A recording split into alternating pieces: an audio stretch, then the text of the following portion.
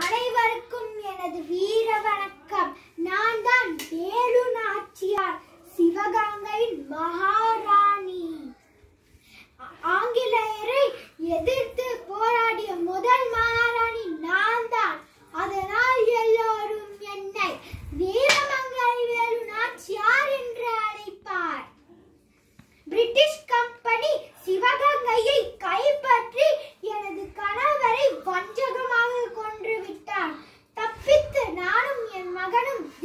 நாங்கள் சென்றோம்.